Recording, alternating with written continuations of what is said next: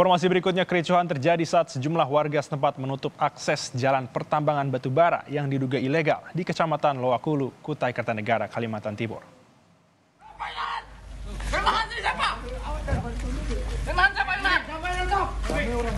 Saudara hal ini berawal dari warga yang menggunakan sebuah minibus untuk menghalangi jalur lalu lintas dari truk yang akan membawa batu bara yang diduga beraktivitas ilegal.